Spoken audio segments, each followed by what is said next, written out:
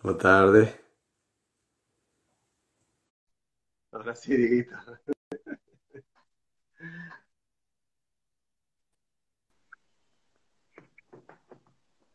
Maestro de los maestros.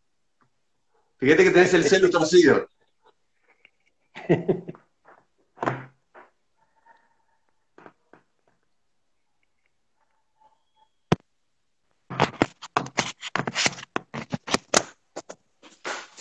Ahí va queriendo. Ahora sí, ahora va espectacular. Escucha, ¿y cómo, cómo viene el sonido? Porque tuve que sacar el auricular para poder apoyarlo. No, yo te, ¿Está yo te escucho perfecto, un poquitito lejos, por ahí, por ahí si te pones un poquito más cerca del celu vas a... no retumba tanto. Bueno, mucha inteligencia artificial, pero no podemos conectar una llamada por Instagram. Este, ¿Viste cómo es? ¿Sabés que mirá, yo hace más o menos unas, unas tres semanas que vengo haciendo contacto con un montón de gente y nunca me había pasado eso, ¿viste? Digo, qué raro, qué raro. Bueno, para todos los contactos que se están uniendo, eh, piensen que ah, tengo más de 3.000 presentaciones con la video, con la, con la bodega, pero nunca en video, es la primera vez, se nota. Y el tipo quería conectarse a través de la compu, no sabía que era a través del celular, así que por eso la demora. Medio cavernícola. ¿Cómo estás, Seba? Tanto Sí. tiempo. Muy contento de saludarte, la verdad que eh, es lindo poder verte, pues, lindo charlar contigo y, y poder hablar de vino, ¿no? Con un poco de tiempo. No parece, pero toda esta problemática también nos posibilita la chance de, a veces de generar este tipo de situaciones que a veces no hacíamos. Sí, totalmente. Voy a sonar superficial, este, hasta frívolo, pero de alguna manera me siento hasta justificado porque hago lo mismo que hago todo el año, es hablar vino y tomar sonata, pero bueno, este, esta vez con permiso gubernamental, como quien dice. Claro, muy bueno. Che, Dieguito, bueno, eh, como por ahí, digamos, va, va, eh, llegando algunas personas que te conocen y algunos no te conocen, a mí siempre me gusta que el invitado haga una presentación, ¿viste? Para que cuentes quién sos. Yo ya puse acá que sos de Rutini Wines, pero bueno, que cuentes quién sos, qué función tenés y demás. Todavía no encuentro muy bien la función, todavía no puedo explicarlo muy bien, pero bueno, qué país generoso. Soy Diego Córdoba, trabajo para Rutini Wines, Bodega La Rural, hace casi 15 años. Este año voy a cumplir 15 años en la empresa. Abocado al área de comunicación. Eh, formo parte de un equipo de varios compañeros, de varios amigos que vamos difundiendo y, y promocionando por todo Sudamérica, en general con mis compañeros, las actividades de la bodega. Eh, piensen que hay al día de hoy creo que 895 bodegas inscritas en el INB. Entonces, cada una de ellas trata de comunicar sus productos, quizás de alguna manera diferente, es muy difícil abarcar todo. Nuestra estrategia fue esa, crear este grupo de grandes seres humanos que muy comprometidos con la filosofía de la empresa y tratamos de, de, de difundir eso. Eso es más o menos lo que hago, es difícil explicarlo. Me pagan por tomar los mejores vinos y charlar con amigos. Dieguito, ¿sabes qué? Eh, al final no te pude, ayer, ayer fue todo medio en la correría, con el día del Malbec, y no te pude agradecer, pero, pero finalmente pudimos charlar con, con Mariano. Eh, lo Ah, charlábamos, lo saludamos, y también fue hasta medio, eh, fue un poco accidentado el tema de la conexión y demás. Tal fue que tuvimos que agarrar un celular y ponerlo mostrando con otro, fue todo una parabólica para que saliera la, la conversación, pero fue muy lindo saludarlo. Él estaba en la casa y, nada, hablar con esos referentes del vino es súper importante en esos días. ¿no? Qué bien, che, me alegro mucho. Eh, Mariano es un tipo muy, muy llano, muy llano. Obviamente me acuestan a mí estas cosas, imagínate, por una cuestión generacional. Así que me alegro mucho que lo hayas encontrado, pero apenas hablé con él se, mo- se mostró muy entusiasmado, muy agradecido. Che, me alegro que haya salido bien. Sí, salió muy lindo, salió muy lindo. La verdad que bien. Che, bueno, Dieguito, eh, contanos eh, un poquito de lo que estuviste haciendo este año en la bodega, eh, contanos un poquito de, de lo que sepas de cómo, lo que charlaste con enólogos y cuando estuviste allá, cómo fue esta cosecha 2020. más allá de los quilombos operativos, que bueno, todos los conocemos. Sí, respecto a eso, bueno, me imagino que ya con todos los profesionales que has hablado en estos días te habrán anticipado. Me parece oportuno reforzarlo. Va a quedar en la historia, más allá de, lo sociocultural, de lo que nos pasó, más allá del coronavirus, eh, desde el punto de vista agronómico. Eh, hubo una helada tardía, el 13 de octubre, cayó nieve, mucha. eso produjo un corrimiento en los puntos de madurez. Eh, así que arrancó con una primavera muy, muy fría y de golpe lo que fue diciembre, enero, febrero, muy cálida, es uno de los años más cálidos que se recuerda. Entonces eso hizo que las, las vides, las cepas de ciclo corto de madurez, eh, estuvieran listas hasta 15 días antes, entre 10 y 15 días antes. Mira, no sé si Nani está viendo por ahí, pero el amigo Nani es quien, quien se encarga de la parte de espumoso de la bodega. Hasta él le cortaron las vacaciones, se tuvo que volver de las vacaciones porque era mediados de enero, 20 de enero más o menos, y ya había que cosechar eh, las, lo que era Pinot Noir y Chardonnay para los espumosos, para las bases, para que te den una idea. Después se normalizó un poco con algunas lluvias en febrero, y eso hizo que se retrase, entonces se, normalizó, digamos, pero igualmente siguió existiendo ese corrimiento, ya quedó en una semana antes de lo que estipulamos habitualmente todos los años. En definitiva, entonces, va a ser una de las, de añadas de mayor sanidad en los viñedos. Hubo una heliofanía muy, muy grande, así que un tenor de azúcar altísimo.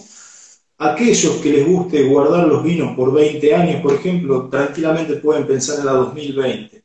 Esta vendimia produjo eso, un tenor de azúcar muy, muy alto, así que vamos a tener vinos alcohólicos de alto nivel polifenólico. Eh, fíjate, incluso con el correr de los días se fue mejorando esta inclemencia del tiempo y hasta hace tres o cuatro días atrás estábamos, yo ya acá en cuarentena, pero estaban mis compañeros cosechando lo que son las, de ciclo largo, Petit Verdot, Cabernet Sauvignon, Cabernet Franc. ¿Se, ¿Se entiende más o menos? ¿Se escucha bien? Se escucha bien, se entiende perfecto, che, la verdad es que se escucha muy bien. Con todo esto, eh, seguramente, sabes que hay como opiniones diferentes eh, en un sentido. Eh, tuve la suerte de charlar con no menos de 30 productores y sommeliers y, conversamos sobre cuestiones de, no solo de Mendoza, de Patagonia, también en el noroeste.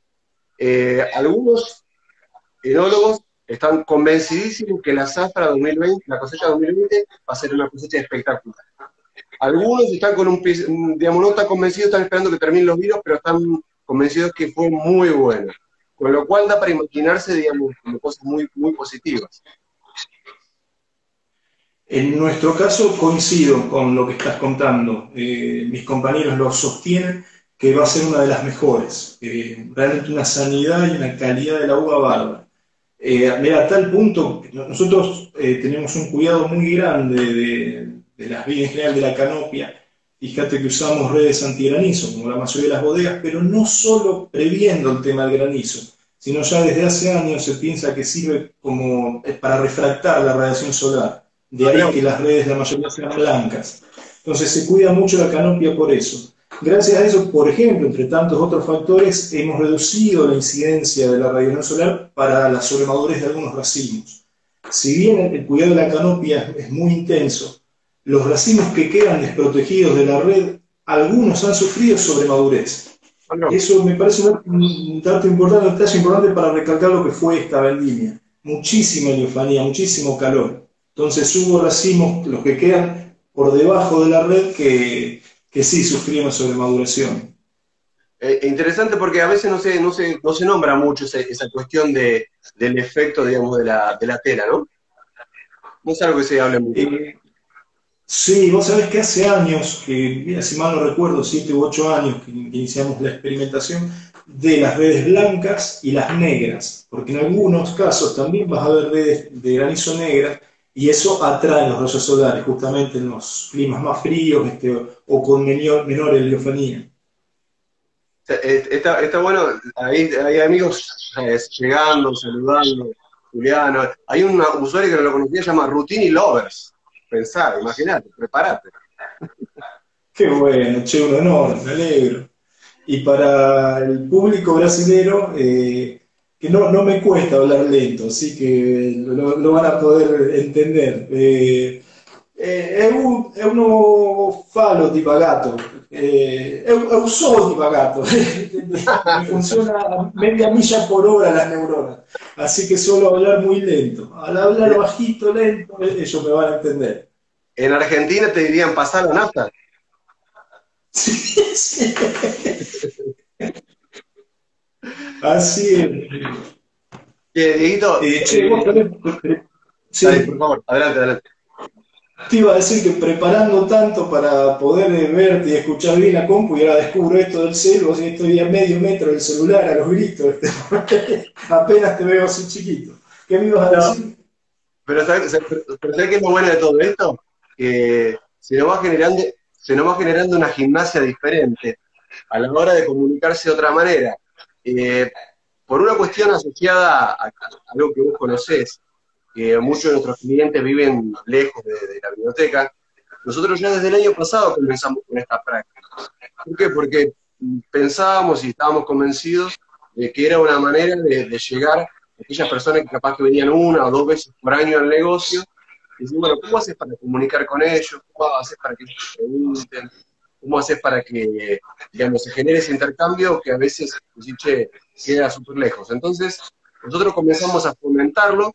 Entonces, cuando arrancó esta cuarentena, dije, bueno, vamos a seguir haciéndolo. Eh, al principio parece extraño, al principio parece un poco hasta tosco, pero después te facilita un montón la vida. Yo creo que tenemos que saber explotarlo para aprovecharlo mucho más. Sí, totalmente. Che, te agradezco mucho esta oportunidad. Yo soy de la vieja guardia, voy a tener que mejorar esto y innovar un poco, es cierto. No, pero eh, te digo, no, no, tiene ninguna dificultad. Y te iba a decir, eh, fuera estas, estas peculiaridades eh, que vos me hablás a nivel general de la cosecha. Rutini tiene un montón de viñedos alrededor de Mendoza. A mí me gustaría que nos enfoquemos en uno, el que vos elijas, que ese que a vos te gusta mucho ir, estar, por alguna peculiaridad, y que nos cuente sobre él. Porque viste que hoy por hoy tenemos que hablar del lugar, tenemos que hacer referencia a un lugar que no parezca tan vago y que vos nos des un poquito de profundidad sobre tu conocimiento y que ese conocimiento nos, nos permita ver más allá. Bien, bien, voy a tratar de ser breve. Eh, sobre todo para los que se están inmiscuyendo en esto, que entienden todavía menos que yo, que todavía sigo sin entender un montón de cosas. Eh, piensen en el sistema de cordillera, como está estipulado. Está la cordillera principal, la que abarca la Concagua, el Tupungato, las montañas más altas. En el medio está la cordillera frontal y, tenemos como punto más oriental la precordillera. Eso es la zona clásica de Mendoza de producción. Para que se ubiquen dónde está la bodega, nosotros estamos en Tupungato, para redondear unos 100 kilómetros este, al suroeste de, la ciudad de Mendoza. Eh, el río Mendoza está a unos 80 kilómetros nuestros, de nuestras vides y de la bodega. La precordillera llega hasta el río Mendoza como límite para que nos entendamos. Hay básicamente en esa región hay tres grandes ríos que fueron llevando los sedimentos en los últimos millones de años. Todo lo que se, se derrumbaba, digamos, sobre el de la cordillera iba por sedimentación por el río Mendoza, el río Las Tunas y el río Tunuyán. Nosotros estamos, si bien lejos, entre el río Las Tunas y el Tunuyán. Esto me parece importante aclararlo.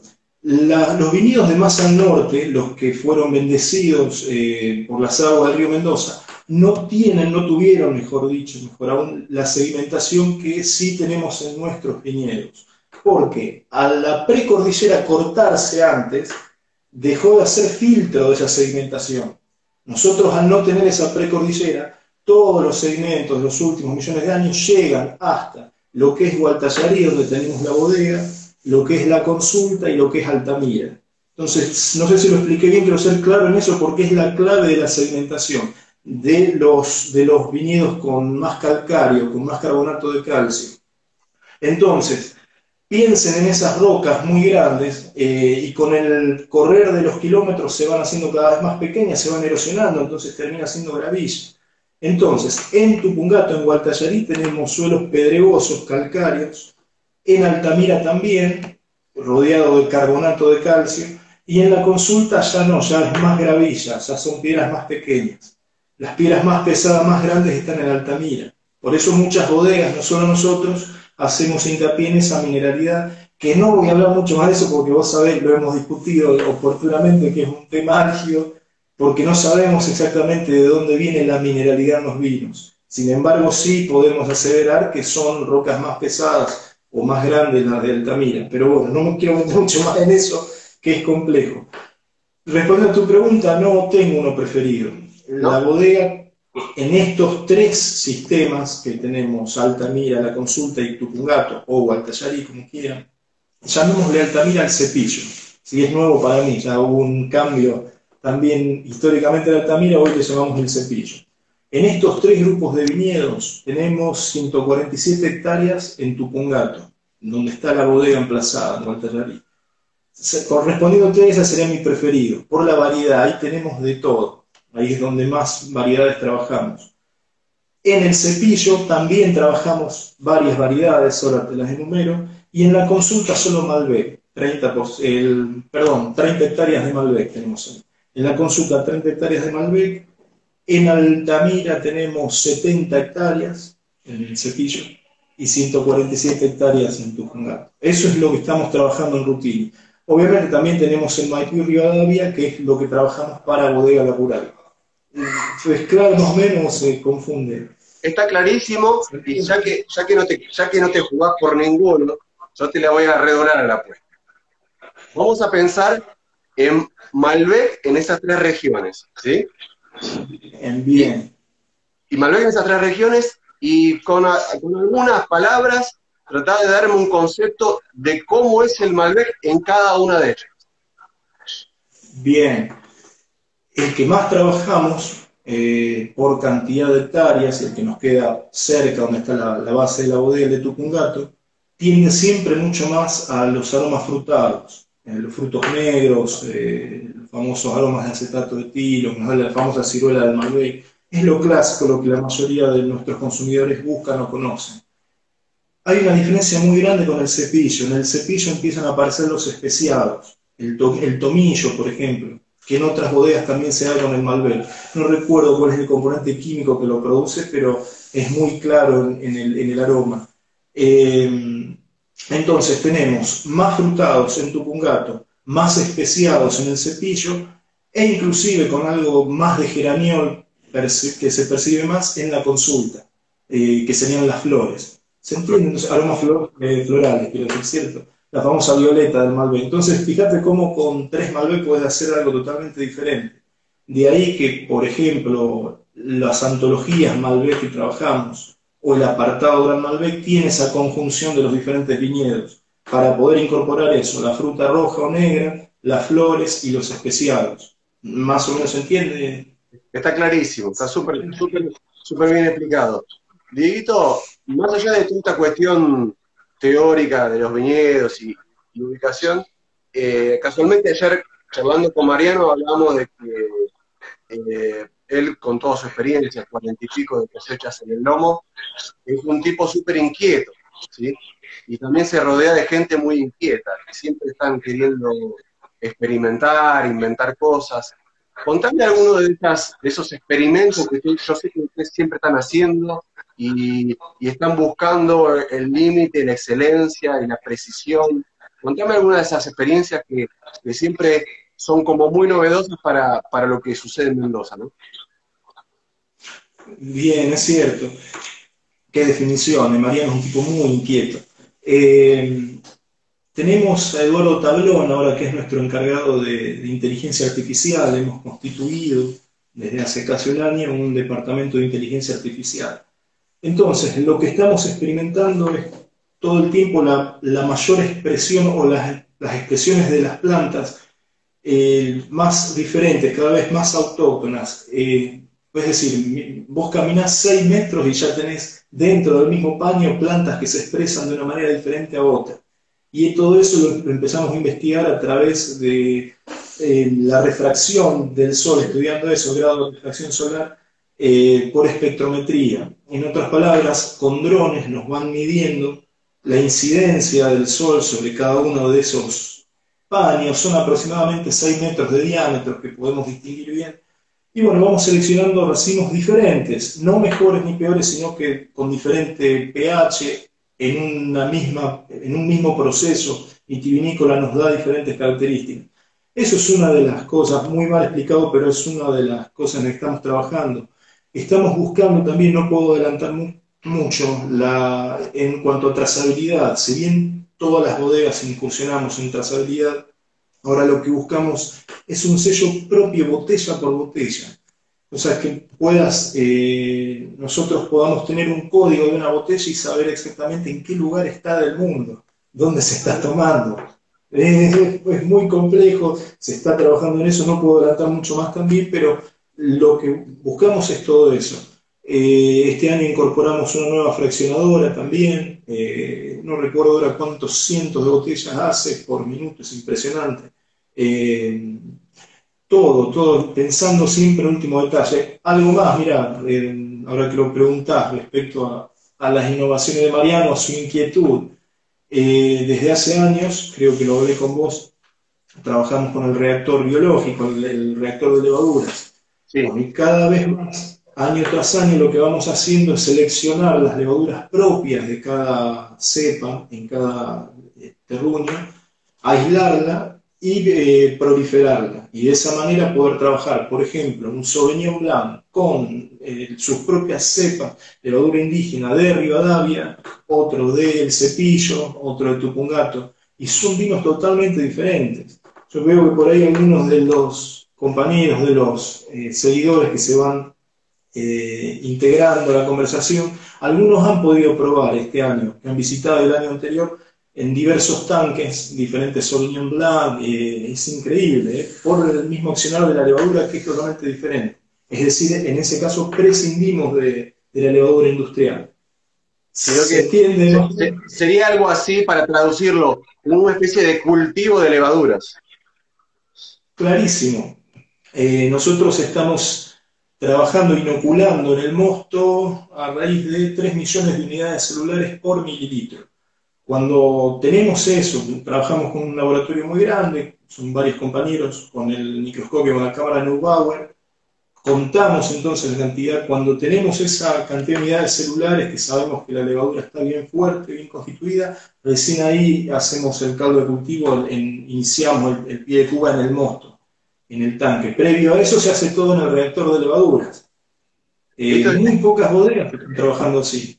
Esto imagino si podemos eh, entrar un poquito más en profundidad, se me ocurre eh, que en función de lo que muchas veces se habla sobre el perfil de los vinos asociados a las levaduras, esto le debe dar un gran porcentual de, originalidad al carácter de los vinos, ¿cierto? Claro, imagínate que antes de esto siempre trabajamos con la levadura industrial, eh, comprada generalmente en laboratorios franceses, italianos. un vecino capaz que usaba la misma. Exacto, exacto, clarísimo. De alguna manera, todos esos ésteres aromáticos que se van desprendiendo tienen similitud. Ahora, si vos usás tu propia levadura, ya mejor o peor no lo sé, pero al menos vas a tener otra impronta, lo más eh, propio de cada bodega.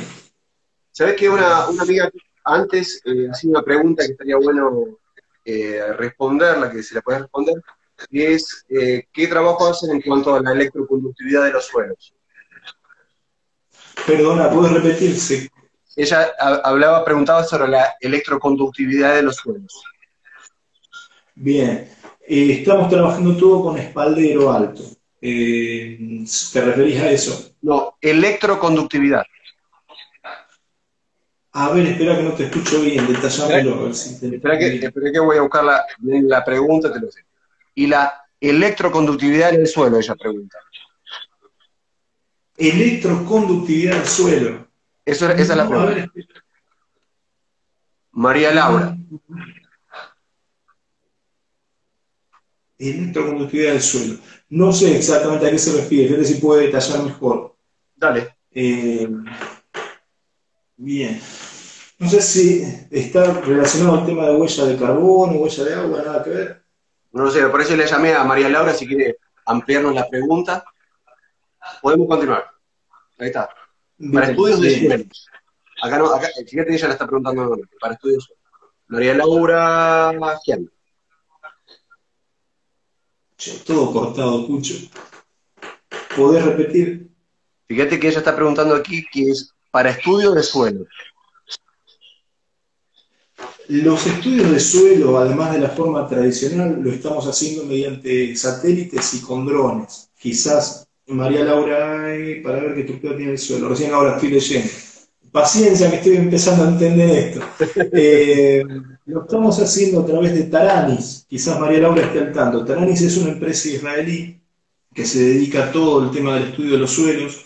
Está en todo el mundo. Eh, generalmente trabaja muchísimo con la soja, por ejemplo pero está incursionando ahora en zonas vitivinícolas en Mendoza, fuimos uno de los primeros en contratarlos, y ellos nos dan una muestra mensual por satélite, además de lo que te decía de los drones. Entonces estamos haciendo ese análisis por ahora, eh, todo pero con dron con eh, muestras de espectrometría, con la, con, la cámara nos, nos, va midiendo eso. Eh, no sé si se refería a eso también, en fin. Pues si, si no lo era, María Laura puede seguir preguntando que no hay problema. La idea es, sacarnos de la duda, sacarle toda la información a Diego posible. Así es. Tomate entradita que ya sé que está igual. ¿Cómo? Digo, tomate que se ¿Querés probar con, querés probar con tu auricular capaz que escuchar mejor? No, es, se corta la transmisión. Ah, bueno. No es que no te escucho bien. a ver, a ver si yo me pongo un poquito más cerca, capaz que escuchar mejor. ¿O sale eh, eh, Se corta la señal. Eh, ¿Qué me decías? No, no, no, simplemente eso. Eh, Diego, más allá de los temas relacionados con levaduras, eh, ustedes hacen un trabajo muy importante a nivel barricas, ¿cierto? Sí, eh, ojalá Charlie esté viendo esto. Es, es, un equipo muy grande de trabajo y mi amigo Charlie se encarga de toda la parte de barricas de crianza. Eh, con la incorporación, las últimas incorporaciones entre ambas bodegas, estamos en más de 8.000 barricas, así que imagínate. Y trabajamos con más de 100 proveedores de Francia, España, países eslavos, roble americano eh, una de las últimas incorporaciones es el, bueno, el famoso perlé, que, también otras bodegas lo tienen, es, le, llaman comúnmente el mate, tiene una forma de mate. Eso es una de las últimas incorporaciones y lo que a mí más me, llama la atención este, o me gusta explicar porque vemos el resultado en, las catas eh, son las barricas hidrodinámicas. Yo creo que con vos en octubre, noviembre, que estuvimos... En... Exacto. Eh, la barrica hidrodinámica eh, tiene un secado, suena raro, es paradójico, pero se seca con agua, con vapor. Entonces, ya el productor nos da esa barrica secada con vapor, con un vapor que arrastra hasta el 40% de los taninos verdes. Los taninos son muchos, y tienen diferentes efectos en, el paladar, por ejemplo. Hay algunos que consideramos indeseables. Esos son los que barre este vapor. Entonces, eh, estas barricas priorizan mucho más los aromas, eh, los aromas primarios de la variedad.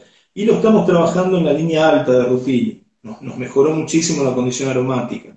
Así que me parece importante también destacarlo. Hydrodynamic es el modelo de la barrica, es de Quinta Essence, es una de las las más famosas, más grandes Así que me parece eso importante también. Bueno, eso es otro de, las tantas curiosidades e innovaciones que, aporta Mariano. Pero todo el tiempo estamos experimentando. Diego, me contabas que ese tipo de barricas hidrodinámicas también lo utilizan los blancos de alta gama, ¿cierto? Exacto, sí, sí, sí, sí todo alta gama. Eh, me preguntaste eso, entonces que estoy no, en los blancos, en los blancos solo lo trabajamos en los blancos de alta gama, en todos los blancos, y en algunos tintos específicos, por ejemplo el Pinot Noir, cuando se necesita esa delicadeza, cuando no queremos que el tanino de la madera invada tanto la fruta. Entonces son para vinos con factores de potencia minimizados ya naturalmente. ¿Sí? Eh, eh, Diego, hablando de, de, Malbecs y demás, vi por ahí, no sé si en una puntuación o en alguna foto, eh, y hay un producto nuevo en la línea apartado, ¿cierto? Eh, Cabernet Sauvignon. Ah, porque te entendí del Malbec. Sí, el apartado Gran Cabernet lo tenemos como vendimia 2017 y vamos a ver cuándo va a salir. Esas cuestiones comerciales por ahí que nos exceden. Pero el vino ya está hecho, está muy bueno. Es justo que lo, lo preguntás, pensaba abrir ahora esta noche, pero estaba, está fuerte. Eh, así es, con las mismas condiciones que el Malbec, pero es un gran Cabernet 2017. Manda muy bien, es un vino para guardar 20 años más. ¿Uvas de dónde para ese Cabernet, Diego? De Tupungato, de Gualtallarí. Todo de Gualtallarí. Son sí, son 1200 metros sobre el nivel del mar. Eh, son los paños que tenemos más arriba para aquellos que han podido visitar la bodega, eh, siguiendo unos 400 metros para arriba, son esas vides. Explícanos un poquito, ya que estás hablando de ese vino que es nuevo, para que ya sepamos la diferencia entre el single vineyard Gualtalarí y el apartado Cabernet Sauvignon. Siempre los dos Cabernet, ¿no? Hay un, ya es otra concepción eh, a, la a la hora de elaborarlo. No me gusta mucho cuando hablamos de enología hablar directamente del precio, pero es inevitable para que se entienda ya es un rendimiento por hectárea mucho menor. Eh, estamos hablando de aproximadamente 5.000 kilos por hectárea contra 9.000. Entonces es otra concentración polifenólica, es otra uva, otros puntos de madurez. Eh, tenemos otro anijamiento, otro periodo de crianza. Son 12 meses en el single contra 24 meses, va a ser, no recuerdo si entre 18 y 24 meses. Eh, Insisto, eso todavía no salió, así que factible pueda ser pasible de algún corte con otro cabernet justamente para limar alguna aspereza o no, eso no, lo determinará Mariano. Pero es otro estilo de vino, ya es otra calidad. Va a ser el segundo tinto más caro de la bodega junto con el apartado Gran Malbec. es, es otro. Dieguito, y fuera de eso, contanos un poquito más hasta donde puedas, ¿no? ¿Qué, otras cosas están trabajando esos, esos, esos que se ya vienen laburando hace años y capaz que dentro de poco tiempo nosotros los podemos conocer? Eh, lo que más me llamó la atención a, título personal es el Riesling. Siempre fui muy amante de, las variedades alsacianas y estamos haciendo un Riesling que está bárbaro, con un alto nivel de evolución oxidativa, eh, creado de esa manera, con barrica. Eh, insisto, no sé si saldrá al mercado. Eh, esto es lo, que a mí me divierte mucho, por eso vos lo definiste bien, eh, hablando de Mariano. Él hace y prueba con todo su equipo de grandes genólogos. Después veremos la cuestión comercial si conviene o no sacarlo, pero todo el tiempo se va experimentando. Bueno, este Rienin está extraordinario, yo confío en que va a salir como rutina en algún momento. Eh, eso es lo que más me gustó y lo que está haciendo Nani, los espumosos tenemos el apartado Brut Natur eh, y antología, también como espumoso. Hasta ahora no ha existido nunca eso. Entonces, este, eso realmente creo que va a valer muchísimo la pena. Estamos probando, está excelente. Ya te confirmo que eso va a salir al mercado. Dieguito, contanos un poquito sobre ese reeling que me decís un poquito, un tanto más oxidativo. ¿También eh, tiene tiempo de guarda en la, digamos, piensan que va a tener tiempo de guarda en la, en la bodega antes de lanzarlo? Sí, eh, de hecho ya está en barricas, así que está en experimentación y, ignoro si llegará un año, de barrica no lo creo, pero ya está en las barricas, ya está con batonage, estamos haciéndole batonage con hielo seco. No, las veces que he charlado con vos en, allá personalmente hablábamos sobre el batón justamente para hacer batonage. Bueno, ahora lo que hacemos es agregar eh, un, un cubito de hielo seco nomás por barrica en ese caso lo hacemos en la barrica Riesling, eh, y eso mismo hace que se remuevan las lías. Ah, este, así que está con crianza, eh, y bueno, vamos a, ver cómo siguen. ¿De qué año es? este es 2019, exacto. El que tengo en 2019 y ya hay 2020 también. El 2020 lo tenemos en el tanque. Eh, muy interesante. Entonces, hacemos la prueba entre los dos. entre el, que tiene cierta evolución oxidativa, que personalmente me encantó, y el nuevo, mucho más verde, con aromas primarios más genuinos. Diego, y hablando de variedades alsacianas, decime que este año hubo mucho Gewürztraminer, por favor. Mira, la sanidad del, del fue tremenda. Eh, hoy lo hablaba con nuestro jefe de ingenieros agrónomos, con Gonzalo Videla, que tiene la responsabilidad de manejar todos los viñedos de la bodega, y casualmente me habló de la, de la sanidad del trámite. Así que sí, viene perfecto. Pero, para que no te alegres, es siempre la misma cantidad, pero son muy pocas hectáreas. Hay muy, muy pocas hectáreas, por eso se quiebra enseguida el stock. Eso no lo podemos mejorar. Ya eh, viene de Guatallarí, ¿cierto? La zona más alta que tenemos. Sin embargo, ya tenemos plantado en el cepillo. También, la, idea de a poquito es ir teniendo más cantidad. Pero, viste, vos sabés cómo es, hay que esperar a la planta. Pero si bien viene con una sanidad bárbara, va a seguir eh, quebrándose el stock rápidamente. Diego, hablando de, blancos específicamente, en los últimos años, en las presentaciones y demás, da para ver como que hay una tendencia creciente a experimentar más, mucho más de lo que antes, todo lo que es blancos y espumantes, ¿cierto? Sí, eh, no, no noto de parte de la bodega, por ejemplo, no hay un lineamiento sobre eso. Personalmente sí, me gustan cada vez más y veo la dificultad eh, no sé si coincidís, pero es mucho más difícil elaborar un blanco en, algunos aspectos, hay mucho menos margen de error. Eh, no estoy notando un incremento porcentual importante en el consumidor que se vuelque a los blancos. Sí lo deseo, personalmente me encantaría, pero hasta ahora seguimos manteniendo eh, esos guarismos, 80-20, más o menos. Ahí te mando un saludo a Leo, dice que nos manden un poco más de cambio. Leo, si supiera la gran cantidad de trámite que, que, sale en la región, la tenés vos. Este, hacemos lo que podemos. Hay muy poca cantidad. Qué grande. Eh, ¿qué te iba a decir? Eh, asociado a todo este movimiento de, equipo, ¿cómo es? Contanos un poco cómo es el equipo, porque es un equipo muy grande.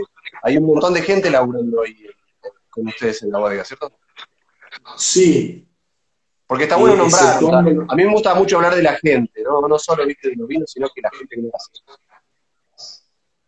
Es extraordinario. Eh, mirá, insisto y creo que lo he escrito en varias oportunidades, lo mejor que tiene Rutini es la gente, los recursos humanos. Podemos hablar todo el tiempo de tecnología, de, la calidad de la materia prima, pero lo, que realmente para mí hace grande Rutini es la gente.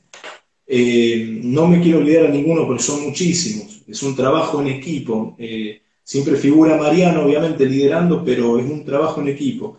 Gonzalo Fernández es nuestro jefe de enólogos, por ejemplo. Es alguien a quien admiro y aprecio muchísimo y vos sabés, bueno, ya hay un poco polémico, estas son cuestiones personales, ¿eh? no, no, se hace con la bodega de esto, son opiniones muy personales. La comunicación en el vino crece a un ritmo vertiginoso a mi gusto. Como te decía, soy lento para todo. Y veo la cantidad de publicaciones que hay respecto a cualquier cantidad de enólogos y no se tiene en cuenta para nada grandes enólogos, como el caso de Gonzalo, que hacen millones de litros al año y son desconocidos. Este, y el consumidor eso por ahí no lo entiende. Eh, pero bueno, ya me voy a poner mucho más polémico, muy largo y esto lo vamos a charlar en mi próxima incursión por, por los pagos, por decirlo. Pero bueno, entonces Gonzalo liderando con, eh, tenemos a Charlie en Barricas, Vivien, un gran amigo que nos aportó muchísimo, Vivian Morvan es un francés de, Montpellier que está trabajando con nosotros hace muchos años y es para mí el mago de los rosados, es increíble, fue quien nos mejoró también toda la elaboración desde el Trampe Terrecer Rosé hasta que nos obligó a sacar un rutini, la primera vez que sacamos un rutini rosado justamente. Eh, es increíble, así que eh, Nani en los espumosos, eh, después Anita, Anita es encargada de toda, Ana Fernández, otra de gran enóloga con un perfil bajísimo, encargada del reactor, ni más ni, menos. Este, pero no me quiero olvidar de nadie, son muchos chicos, muchos pasantes y 150 operarios. en algunas oportunidades. Ahora, por esto del coronavirus se redujo mucho, obviamente, pero son muchas, muchas personas. Y, después, exceptuando lo enológico, para la contención de todos estos genios, está, está Nancy, está Alicia, está Jenny, todas las chicas que trabajan 12 horas por día están cocinando los mejores platos de Argentina ahí. Es increíble, la verdad que yo no, no, veo la hora de que llegue la época de vendimia para poder acompañarlos. Es un privilegio que muy pocos podemos tener, trabajar al lado de estos genios. No, y aparte de otra cosa que también está bueno eh, plantear o transmitir, eh, que, viste, el vino parece como desde el consumidor muchas veces solo glamour y, la parte linda y demás, pero hay muchas dificultades, es muy sacrificado, eh, y también hay muchos problemas que surgen, y también está bueno contarlo. Sí, bueno, le aclaro a, los seguidores que están escuchando la conversación con mi amigo, eh, yo hace mucho no lo veo, hace mucho no charlamos, que justo me preguntaste esto, que no te lo conté. Vos sabés que en esta vendimia me quebré, pues no es la primera vez, me quebré, me refiero a llorar. ¿La gamba? Eh, no, me emocioné, me emocioné mucho, ah. no lo pude, no lo pude aguantar este, ver el laburo que hacen dijimos que fue una de las vendimias más cálidas de la historia.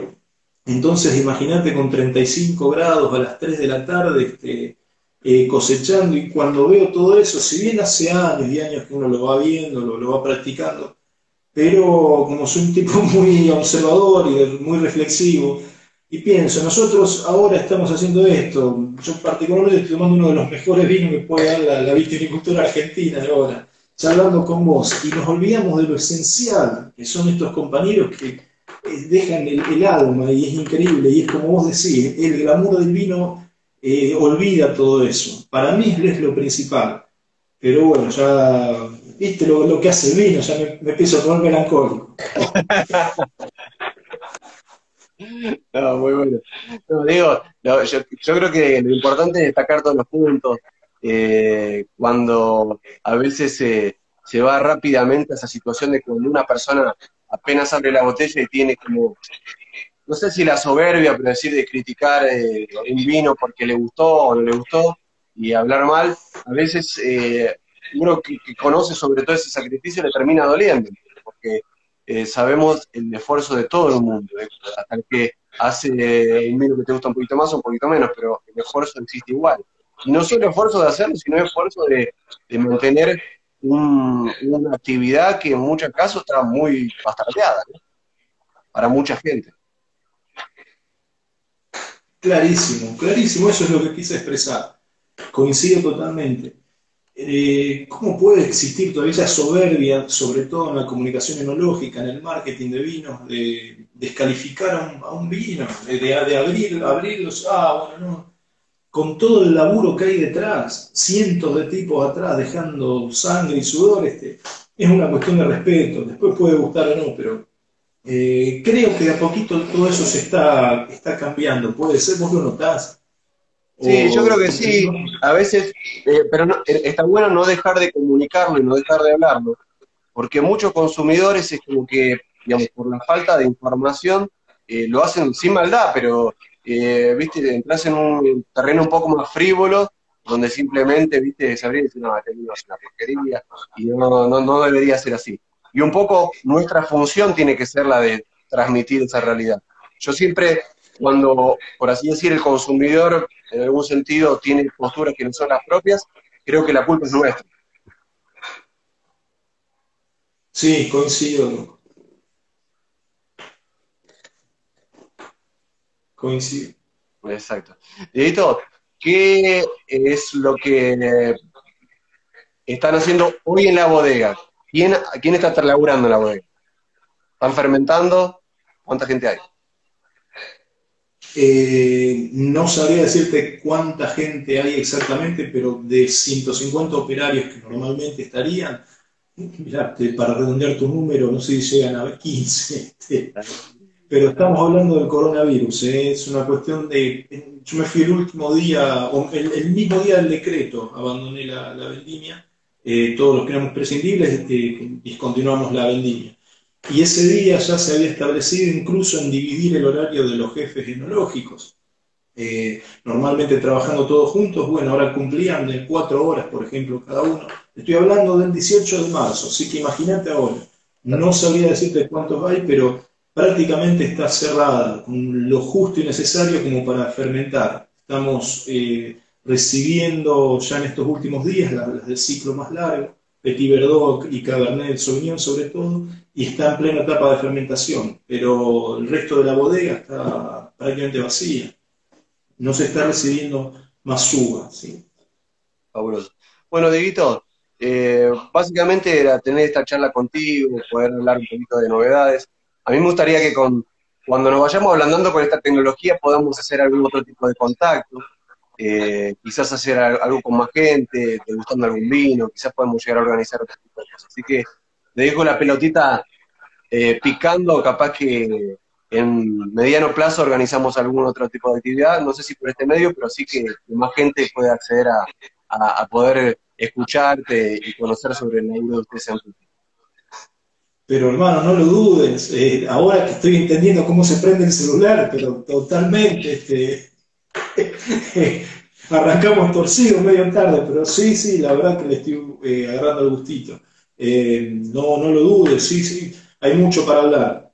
estoy algo oxidado, este, creo que mi última presentación debe haber sido con vos o por ahí en octubre. luego vino la y todo, este, y uno va perdiendo eh, así que me va a venir bárbaro. Siempre hay, mucho para contar. Este, esta, esta última vendimia, te, cuento además, previo al, trabajo en sí, eh, la bodega la verdad tiene un gesto bárbaro con nosotros, que es juntar a todo el equipo de, promoción, de, difusión, de comunicación, y estamos una semana todos juntos en capacitación, previo al trabajo específico de la vendimia, que algunos tenemos la suerte de quedarnos. Y ahí lo que hemos aprendido es muchísimo. Eh, ya para la próxima te voy a poder contar mejores cosas, más, más armado. Estamos mucho con el tema de las normas ISO, eso lo maneja Anita, quien, te contaba recién de la parte del reactor biológico. Bueno, ella, también está gestionando el tema. Tenemos eh, ISO 9001, que es de, calidad, sobre norma de calidad, ISO 22000, sobre cuestiones de inocuidad en los alimentos. Eh, estamos con el sello de alimentos argentinos, eh, eh, estamos haciendo vinos sin TAC, ah, un montón de cosas que, es nuevo para nosotros también. Mira, me enteré de este dato, es, sueno por ahí medio inocente, pero algo no sabe, quizás ya lo hablaste con, con otros profesionales. Por cada copa de vino que estamos tomando se usan aproximadamente 120 litros de agua. 120 litros de agua para llegar a una copa de vino. Así que hay un trabajo muy grande en tratar de reducir eso, teniendo en cuenta Mendoza, que es un desierto sobre todo. Pero es impresionante. Eh, con eso me lo enseñado en estos días. Mm, bueno, Dito, che, eh, muchísimas gracias por la oportunidad de, verte, de saludarte, de, de, que nuestros amigos y seguidores te puedan escuchar, que sepan un poco de la actualidad de Rutini, eh, y como te decía, vamos a inventar alguna cosa a ver si podemos seguir en contacto mismo a la distancia y que la gente no se, no se olvide. Che, no, al contrario, muchas gracias, fue un placer. Todos los días se aprende algo nuevo. Eh, muy, muy contento que me hayas enseñado esto. Eh, así que sí, tenemos que repetirlo. Y más, allá, y más allá de esto, cuando termine, obviamente, la a invitación de que está abierta para, para vos y para la gente de Rutina, acá en Vinoteca Casa Grande, que saben que acá ustedes hacen lo que quieren. Entonces, eh, simplemente nos avisan, dicen cuándo es y nosotros organizamos el resto. Gracias, che, un, honor realmente, en serio. Mandar un beso grande a Talita, un abrazo gigante este, a Leo. Eh, sí, nosotros también nos sentimos así. Este, gracias por tanta calidez. Y, vamos, a mandarle, un saludo a Juancito, que seguramente anda por aquí. sí, la está pasando bien el Juancho. Eh, sí, sí, un abrazo gigante para el amigo Juan. Eh, che, gracias por todo, perdona la extensión por ahí. Bueno, es lo que me dijeron más de una vez algunos eh, asistentes a la charla. Hay que pegarle un golpe para que empiece a hablar y 10 para que me calle. Lo han dicho Estuvo súper divertido. Dieguito, che, eh, muchísimas gracias, te mando un abrazo y ojalá que el encuentro que tengamos sea lo antes posible. Muchas gracias a vos, eh. cariños a todos. Salud, hermano. Chao, loco. Conversamos. Que tenga buen sábado. Bom, até aí foi a conversa com Diego Córdoba, sommelier de Routine Wines, muitas novidades, uma vinícola super tecnológica, eh, que gente gosta de sempre estar ouvindo suas, suas impressões enquanto isso. Obrigado. Eh, Segunda-feira a gente vai estar conversando com outro produtor, vamos estar informando provavelmente segunda, mas a ideia é continuar comunicando, não perder, não baixar o ânimo e, e y esperar que todo eso aquí pase luego y mientras tanto ir aprendiendo y irse relacionando en que sea a distancia. Así que muy obrigado, buen sábado, buen fin de semana para todo mundo.